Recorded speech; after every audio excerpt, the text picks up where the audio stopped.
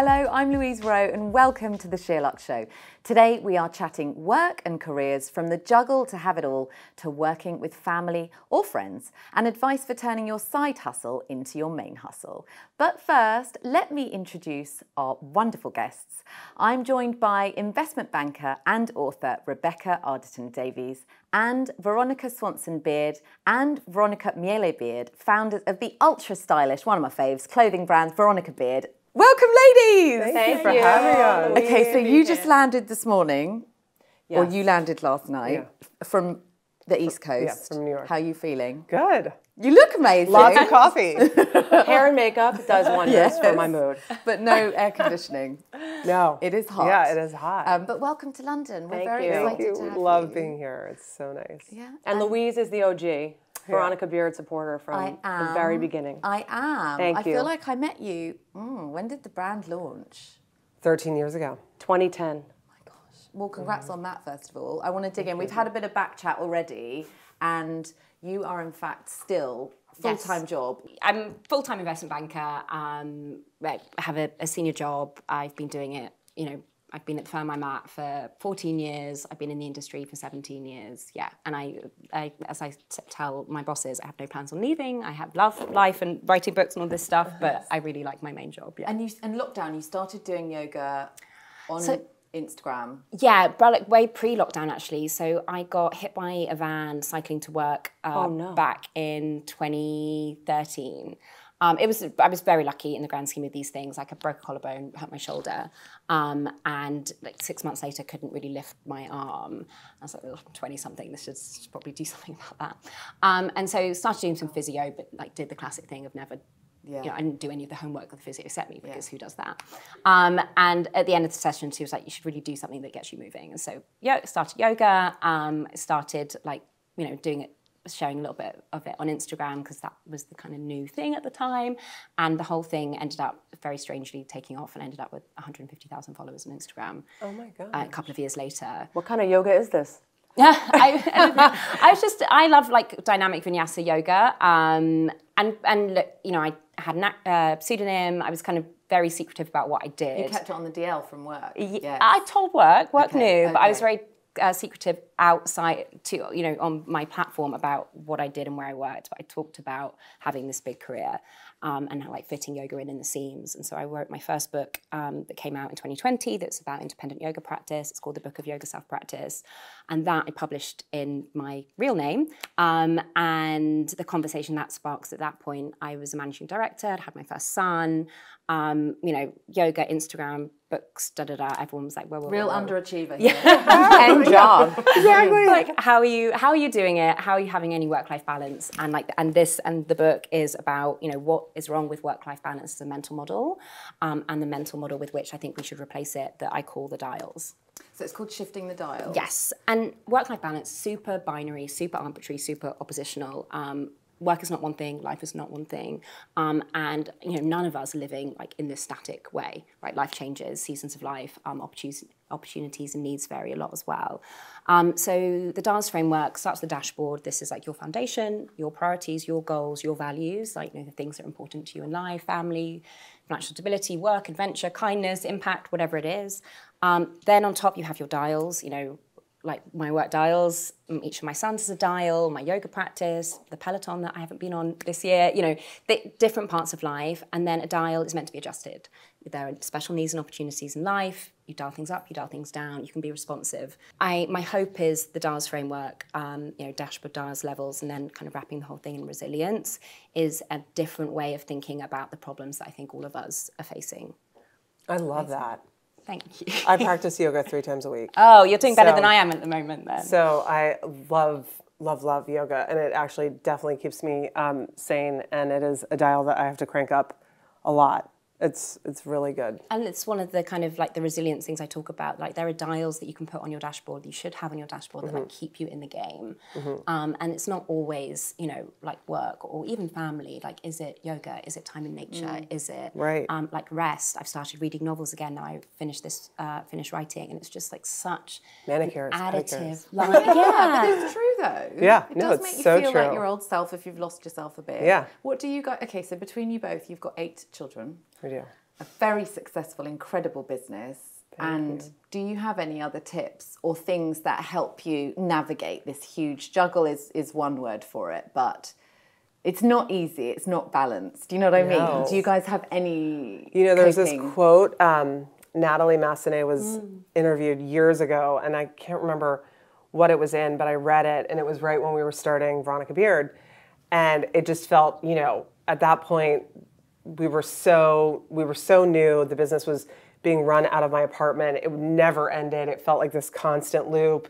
We had little kids. Um, you know, we were trying to make it work, and the article said. Um, you know, about the question that we all get asked how do you how do you, how do you manage how do you juggle and she said you know if you have your marriage your children and your work and your social life she's like all of the balls can't be up in the air at the same time one two are two are rising two are falling whatever it is and i think just having that perspective of you know at a certain point the balls that are falling are going to be rising and just being sort of patient Do you have any? Yeah, I mean, I always talk about um, overthinking. I'm a thinker, and I've always, you know, oh, should I have done that? Should I?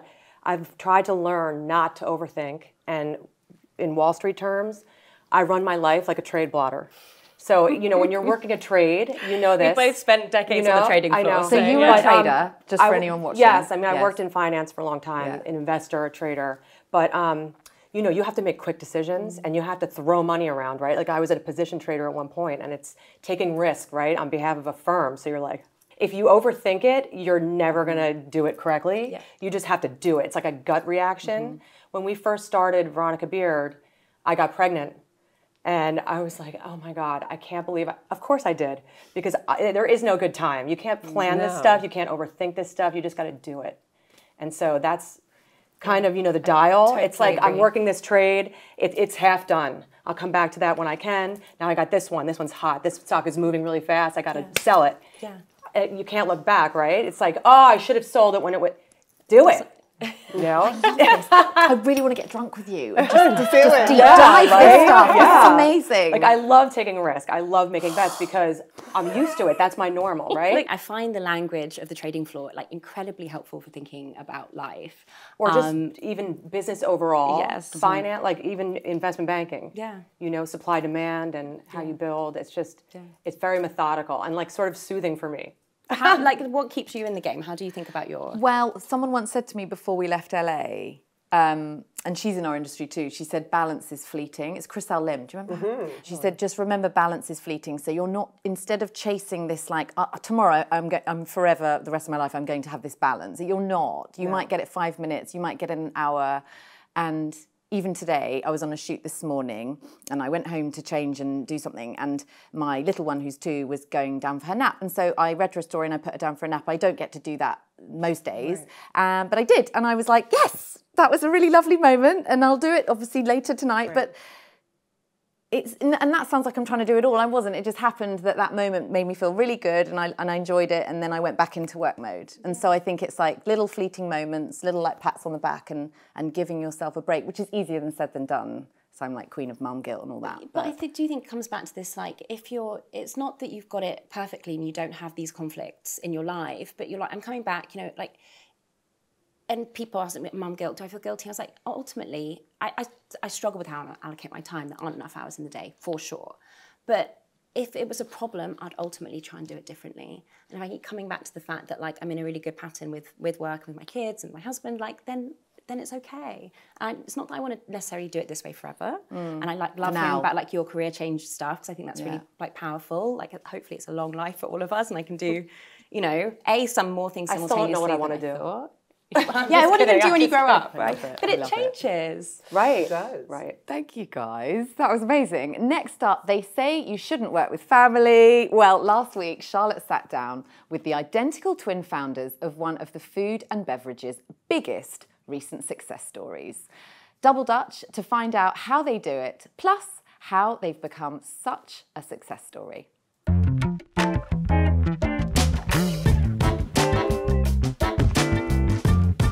Raised in the Netherlands, Joyce and Raissa de Haas were at uni when they realised there was a gap in the market for fun, well flavoured mixers. After finding that most mixers lacked the vibrancy of the spirits they were paired with, the sisters developed their now signature flavours, cucumber and watermelon, and pomegranate and basil, and began taking them along to every party. Soon dubbed the Tonic Twins, the pair's joint entrepreneurship master's thesis came top that year and became their eventual business plan. Now, the London based company sells 750,000 bottles a month into 25 countries. Welcome, ladies. Those are some insane numbers 750,000 bottles. Was that a month? It's actually now 2 million a month. Wow, well, that. 2 million a month. That's insane. Like, okay, let, let's take it back. You why you know we've heard a bit about why but like what was the original plan? You obviously were doing your masters kind of what what were you thinking you might do? When we grew up we always used to make our own soda waters uh, because we thought it was a fun thing and we did like flavor development. And then we moved to london to do our uh, master degree here and we wrote our dissertation about the whole gin hype and the gin and the fact that gins were massively booming in flavor exploration and that rhubarb gin and crazy lobster gins. Mm. the choice of mixes was a bit boring so that was kind of the concept of our dissertation. And then we graduated, and our university gave us a prize for best thesis of the year. And with that, they gave us our initial investment and a year of free office space and some support around that. So then we thought, this is amazing. Hmm. Let's try it. And then from there on, we stayed in London and built it. Have you always been entrepreneurial? Have you always wanted to do something yourselves? And we always, when we were like very small, like when we were like five, six years old, like on the beach, we would like sell paper made flowers. We mm. would like go and get like corn from the farmers and then we would sell it on the streets. So I think we've always had like a little bit of like the entrepreneurial side in us. Talk to me a bit about the journey. So you're at university, you got the investment, it began. How did it then go from, how long ago was that, if you don't mind me asking? How long's the business been going? Uh, 2015. Okay, so we're less than 10 years, we're selling 2 million bottles a month. What's that journey looked like, roughly? We spoke with lots of people and people said like, oh, you either need to choose supermarkets or you need to choose uh, bars. We thought, bars much more. Just like knocked on doors, like spoke with bartenders. I was like, can you try it? I think from there, like there was a lot of people that really helped us along the way. It just went from restaurant to restaurant, bar to bar. It's not that there was like one thing that completely game changed everything. Mm. Except maybe we got like quite early stage, we got like an award from Richard Branson.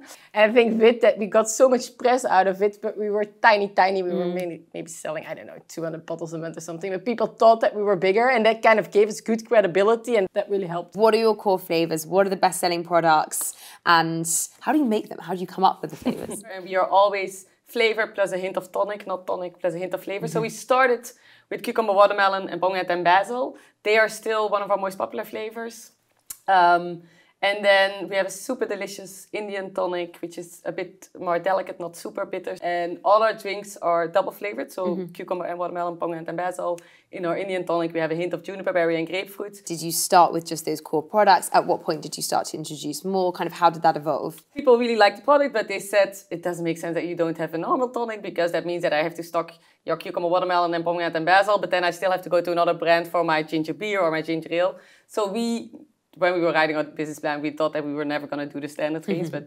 but um, I think three months after we launched our first flavors, we already had the Indian tonic and light tonic. Quite quickly, yeah. yeah, quite quickly. And then we just added to the range and uh, more. A lot of it also from just customer demand, mm-hmm. and then a part of it is more kind of just doing fun, innovative uh, things. Mm-hmm. For example, we launched a Bloody Mary soda last year, which was very different, sparkling, clear. Mm-hmm. What has been the hardest part of your journey so far? Building the right team and finding the right people to help the business because I think we never really worked for someone and I think that is quite a struggle to find like the right fit and those kind of things. But now mm. we have a mm. fantastic team, so uh, all came came as well. Talk to me about working together as sisters. You're obviously very tuned into one another, but you know people often kind of issue warnings about going into business with a you know family member. How do you find the dynamic of working together? I think for us it works really, really, really well because I think on the one hand side there is you have 100% trust is never mm-hmm. an issue. You have, we have exactly the same vision, and I think with that we know each other so well. So I think because of that, it just it's efficient. Yeah. You just like say what you want to say. You never think about, oh, maybe she won't like my opinion mm. or whatever. It's just, it's easy. Yeah. It's true. You can speak to siblings in a way you can, can't speak to Exactly. anyone else. That's very true. Um, do you each perform different roles within the business? I do everything with sales and marketing, and then Joyce does everything with finance and ops and export. So you keep it separate. what would your advice be to other people who are thinking of going into business with a family member? But I think it is definitely more emotional than with uh, uh, a non-family member. You need to be super passionate about the product or company that you're doing because life, uh, like work-life balance, is so intertwined and it's not a split, um, which is super fun. But I think definitely need to think about that. what is, maybe you've each got a separate answer for this, the biggest business lesson you've learned along the way? just do it, especially when launching. I think lots of people wait super long to perfectionize a product or service or company, and then they launch after a year, and then maybe they have to tweak because customer want it differently. Mm. I think just do it, go launch, and then along the way tweak mm. things and change things about it. That's always our founders' advice as well. La- launch with your MVP and go from there. Exactly, yeah.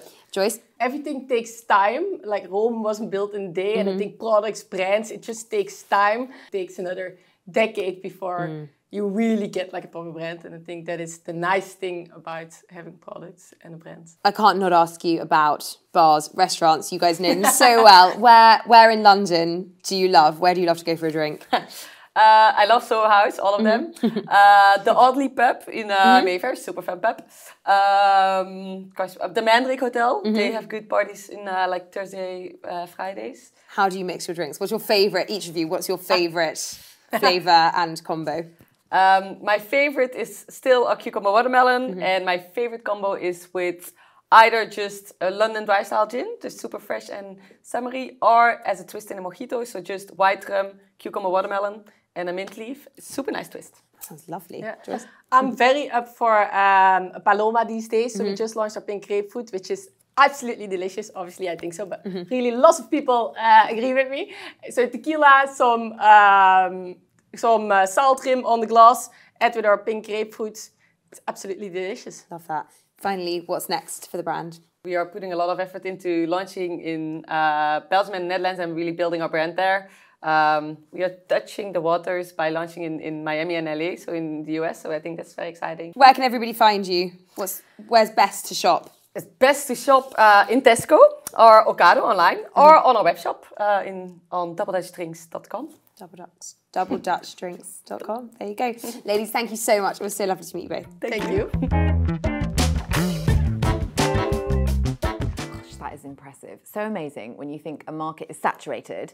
Then they come along, two million bottles a month, right? And what I loved is that when they graduated university, they won best thesis and were given an office for a year. That is very cool. I wish more universities would do things like that. Incubate. Yeah, that's amazing. So you guys are sister-in-law. Married to brothers. Is that when you met? When you became related? No, we met before. Okay. A few years before. Um, at a wedding, the same night I met my husband, I met Veronica. We were all the sa- at this wedding. and um, it was a very, very serendipitous night. Jamie and I got married. Veronica was still in, working in finance. I was working in fashion. We talked for years about product and designers and all the things that we loved in the industry, all the things that were missing, all the things that we thought we could do better. Um, and constantly came back to this idea of the uniform and this, you know, starting with this, the Dickey jacket, um, which existed for men, but not for women. And we started with that piece and grew a business from there. It's incredible, and I'm sure a ride. Have you? You guys haven't written a book yet, have you? No. No, but we took, we took a Next, bet next. on that jacket. You know, every woman needed to have that jacket, and it worked for us. We made protos and wore them around, and thought, "My gosh, this is the Wonder Woman cape. You put this thing on, and you slay dragons." You know, and so with that came many uniforms. You know, and the quick fix for the girl on the go. Um, but we always um, push and pull. You know, like at first it was like we were designing together and we have two different body types and we have, you know, just different age and stage. I'm a little older.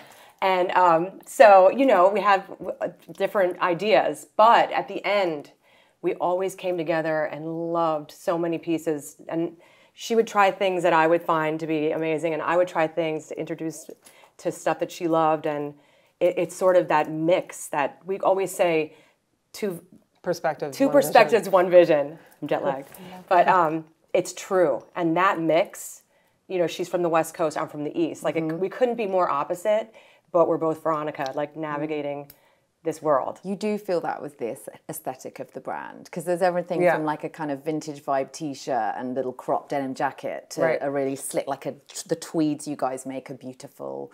Um, there is a real ver- versatility, I think. Is the is the jacket the one? Is it the absolute staple, the bestseller? Yes, always, always. It's, um, but I think you know we started with the jacket and then built around that. Uh, you know, our denim business was because we didn't have jeans that went with the jacket, and that's what we wore all the time. That was our uniform: jeans and a jacket.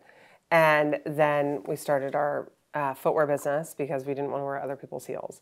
So um, It's all supply Yeah, demand. exactly. We want to deliver what you want. We, we think about the customer when we design, and we think about how many women can wear this. Where are you wearing that? We're always yelling at each other. Where are you wearing that? Can you hail a cab? Is your are your abs showing? Like who, how many Oh. women want that after childbirth? that's you know, we're always throwing in this lifestyle element because we're reality, you know. When we want to be your your everyday wear, your evening wear, your morning wear, your wear to the office, your wear to drop a child off at school. You know, how do you legitimize your yoga outfit? You throw on a jacket and you look ready to go. I have started wearing a jacket and leggings at work, just because, like, if I'm not seeing clients, I look great on Zoom. Right. Like, Yeah, super comfy. You just need the jacket. Well, we were, you were just saying earlier, like workwear no longer exists in its traditional form of it being a suit, and you would be the tale to tell because you- Yeah. in, it's a very corporate environment. Yeah. I mean, tailoring's having such an enormous trend moment. So suits that are actually sets are what are selling from us, and people wear them to cocktail parties and to weddings, and instead of a dress, and so that I think the sort of old school suit to work mm. doesn't doesn't really apply anymore. People wear them, but mm. you can wear jeans and this vest or this skirt or whatever you know, whatever you want. There's not that, that sort of like suit uniform that you have to wear as much. Sydney Carter is a women's basketball coach for UT, and she rocks suits and sequins and everything courtside. And men were chastising her for being a distraction. And she flipped it on its head and is a diamond, you know, and she's got this huge amount of followers and this brand emerging because she owns it, you know, and she doesn't think about, whoa, what's appropriate mm-hmm. courtside coaching, you know, attire. I'm a boss, I'm gonna wear a suit, you know, and she'll she's rocked a bunch of our suits and that's not your traditional place to wear a suit, No. you know. No. And so that's what we love too, is shaking it up and wearing a green eye in the day to to bring out the tennis green in this tweed. Trying different things, you know, and popping something. Tennis green, very appropriate. Yeah. Wimbledon's around the corner. Are you guys staying for Wimbledon? No. No, we leave Thursday. We'll come back. um, okay, next up is a bit of BTS. We spent a day with the founder of a female only tailor at the deck, Daisy Knatchbull. The first of its kind on Savile Row. She is seriously impressive. Take a look. Hi, I'm Daisy Knatchbull, founder of The Deck, and come and spend the day with me. I was very lucky very early on. I had access to this incredible world of this one street with a whole industry on it. Fell totally in love with it. I worked for another tailor on Savile Row called Huntsman, and in 2016, I became the first woman to wear a top hat and tails at Royal Ascot as a kind of publicity stunt to get more women into tailoring and aware of it. And actually ended up being the big catalyst for the business and led me to leaving to start my own tailors for women. Please, can I get a, uh turmeric latte with almond milk? I bring my own turmeric. this fuels the street with all their caffeine needs. Hi. Do you want to be filmed? Like I'm being, I'm being recorded. Oh yeah. You're right, darling. How's the shop? Good. Yeah, busy, brilliant. I love the windows. Thank I you. love- and this man is a legend, literally a legend on Savile Row. See you later. To Take see care. probably find the best dressed people in London in this coffee shop. I called it the deck because it was based off the fact there are four suits and a deck of cards, and we kind of had four silhouettes that um, women could start from a basis and then kind of design and make to their measurements and stuff like that. It's also the deck because it's about reshuffling the way we think about tailoring and prioritizing women, putting women on top. Savile Row is a pretty epic place and it's filled with lots of secret little workshops and amazingly talented people who've been here for hundreds of years. Do you remember she wanted to reorder this pair in um, Oh, yeah. in a denim? And Sonia's done the sketches for her. Yes, exactly. I think she will love that. Good morning, I'm Jolene. I'm the lead tailor um, at the Deck London. Previously, I actually worked for bespoke um, royal families. Um, I used to work for the Queen of England, uh, five years as her dressmaker. There was a special aura about her. She was so kind and she just looked always so beautiful as well. She had, she, she was just someone so special. It was amazing, amazing experience. And then I moved to Jordan, and I was working for the Royal Hashemite Court for Queen Rania. Well, she is the the youngest and most beautiful queen, I think, in the world. and when I first saw her in real, I thought, my God, she is stunning. This is quite a, a different direction. Um, I was really keen to join. Um, a, a modern thinking company, and I think it's uh, it's wonderful as well to work in a female-only team. The deck has four shapes, four basic shapes of jackets and trousers. So when the client first comes in, uh, we have a fitting in a fit garment. The clients choose their cloth, their accessories, um, all the design details, and we normally have up to three fittings to make sure the suit is perfect. We are 10% up um, to plan. Uh, we are 30% to our goal for the month, and um, we have New York coming up. So let's talk about how we're going to really smash that. Hi, I'm Beth. I'm the COO of the Deck London. Met Daisy through a really good friend of mine. We were talking to each other via Zoom for over a year. And we said, what a great time to open a store in the middle of the pandemic on Savile Row. And after spending a week with Daisy in the store, um, I went back to the States, but then came back a month later and I haven't left since. I've had a long career. I worked at Juicy Couture, Coach, Calvin Klein, Armani, and then Belstaff here in the UK. So my experience is across multiple categories, high growth companies. Taking a mixture of everything that I've learned and bringing it here is an honor and a privilege. Finally, excitingly, the shirts, the bespoke shirt offering is now available in stores, as you guys all know, and you've done lots of training on. We're able to fit clients for both silk and cotton shirts, choosing cuffs, collars, everything. It's all done at the front here. And also, we received two beautiful printed silk linings this week as well from Are those the by bespoke ones? yeah created by an artist. So just to say you can promote that because that was really successful. And But hi, I'm Jess. I do the quality control here at the deck, um, which is basically where we check the garment. So we do the, the check the label, the embroidery, the measurements to make sure that it fits the client's um, wants and to make sure that they'll be happy with the final suit. So I'm Casey. I'm one of the tailors here. Um, I've been here for two years now. So all of our garments, um, you can choose whichever embroidery. So we do a little branding, Ace of Spade up your sleeve for the saying every woman should have an Ace of Spade up her sleeve. And then you can also choose different things on the linings. So this particular lady has done her and her partner's initials. And you can also do some things under the collar as well. So she's chosen to have the date here. So when she flips her collar, it's quite a nice little touch. It, it's really nice feeling to be able to make something for someone that makes them feel so empowered and comfortable within their own self. So this is um, Ashley's final fitting. So we're looking for any tweaks or final alterations we need to do. The waist is really good. Have a seat for me. Tell me how you feel when Honestly, you're sitting it down. feels like pajamas. Like Yeah? it doesn't feel like a suit. So Ashley chose her initials.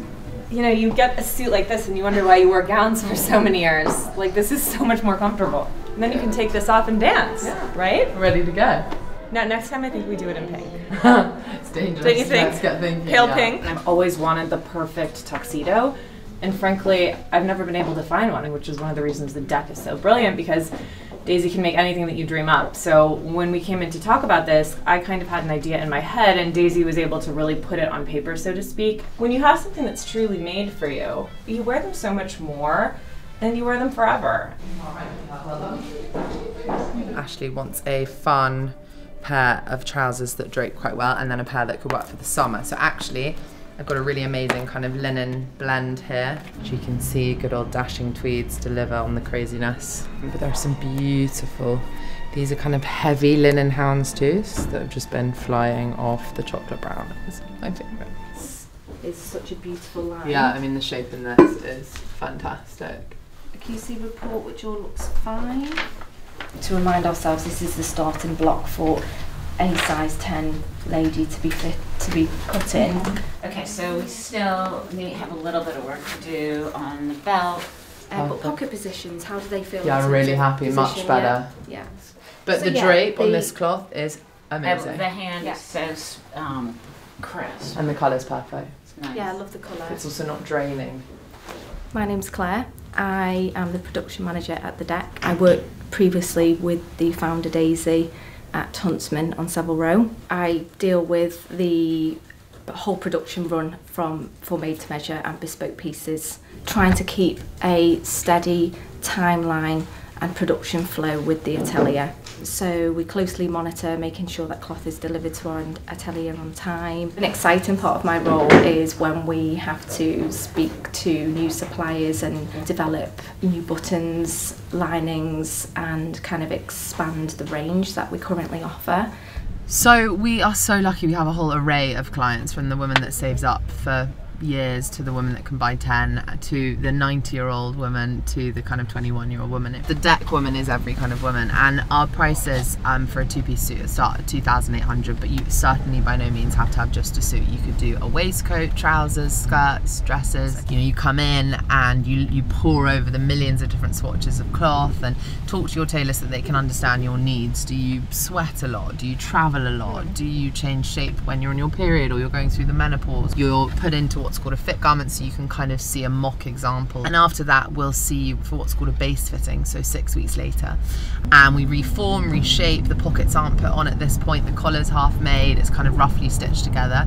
And then a further six weeks later we see you for your final fitting which is where all the final tweaks and adjustments that you've seen of a lot of the clients are made and the finished piece is ready to wear. So now we've arrived at Natalie and we're going to have the most delicious and healthy-ish lunch so this is Vix, who is the Wonder Woman of the deck. She's our client relations manager, as well as doing marketing and events. She knows everything about every client there is to know. We're just having a little catch up today about our upcoming trunk shows, most recently being the one in New York and the various events we have going on. Vix runs an amazing program, client loyalty program, which we've just started to, as we've grown, started to instigate to make sure that actually really, you know, every single client feels cherished and, and feels the gratitude from us. It's just kind of capturing all that information from them, you know, their likes, their dislikes, how many children they've got, you know, if they're married, you know, what what job they do, because all that is so important for coming up, like what designs we're going to come up What with, events what we're events doing. we're going to do. So Wendy, I'm going to tape uh, your trousers a little bit. Perfect, thank you. This is the first time I've had a jacket that with the sleeves that are long enough for me. So nearly Ascot ready. Almost. Got the hat, the shoes. Just need the bag. Just need the bag. Yeah. Very Jackie O chic. Well, very. Um, your emergency exits are here, here, and here. here for me, I'm, I'm a funny body. I've got very long legs, very long arms. To get something that actually fits me is kind of game changer. Looks amazing. I love it. I This love it. Also, what I really love, I love the um, Oh, the lining. The lining is here. Yeah. Look, look at that. Is that Oh, love it. So good, you pick really well. You know, so much of what we do is about treasuring an investment piece and making sure that you can pass it down to the next generation. You can wear it time and time again. And actually, a massive market that's come out of that kind of idea of wanting to be able to wear things time and time again has been bridal. So many brides are flocking our way to have something beautiful made on their wedding day, inspired by Bianca Jagger, of course, and then having it that they can wear it time and time and time again and something that they can pull out and treasure and we can do things like dye it or change it or you know alter it in a different way to make it feel like a different suit if needed. So we are in the trims heaven. Buttons trims cloth everything you can imagine. This is our mecca. So i'm in here to try and source a special button for a client.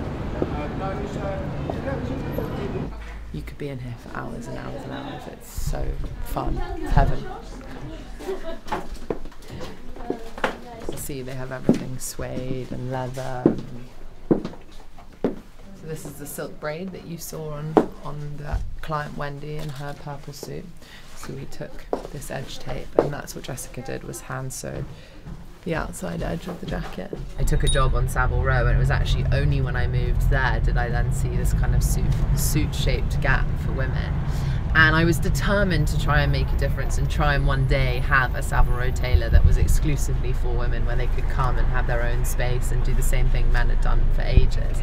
And so I went for about 100 coffees with everyone that I could ever imagine, who then introduced me to someone else and someone else. And I wanted to meet people who had had failed businesses and successful businesses and people not even in my, my industry, just to really absorb everything I could. I was only 25 years old at the time. It was really a combination of hard work, luck, and opportunity that kind of all met in this perfect moment to help launch the deck. The importance of mentors or, or speaking, as I spoke about with these 100 coffees and meeting all these people, is there's so many little life advice and nuggets that I've cher- cherished and taken away from those.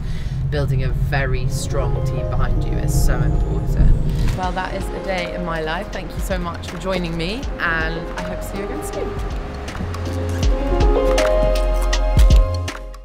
What an amazing brand she's built. So fascinating to see behind the scenes and see the level of detail that goes into making a bespoke suit. And by pure chance, you went there this morning. I was. What did you think? Well, I love Savile Row because it's obviously super inspirational for us um, with our business.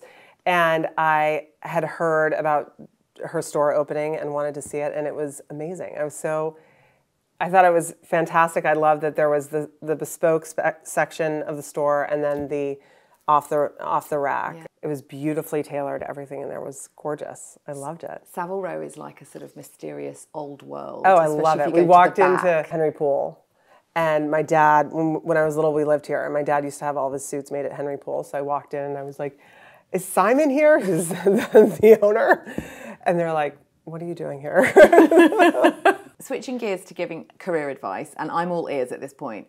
Um, what advice would you all give to somebody who's on the cusp of making their side hustle their main hustle? And I assume you guys have all been in that position. I'm probably in that position right now with a Yeah. homewares brand. I have ultimately found that all the stuff I do on the side has been a massively supportive tool to my main career. It's made me realize how much I'm in the right space for me with my main career, how much I love corporate, how much I love trading floors and like that vibe. and It really suits my skill set.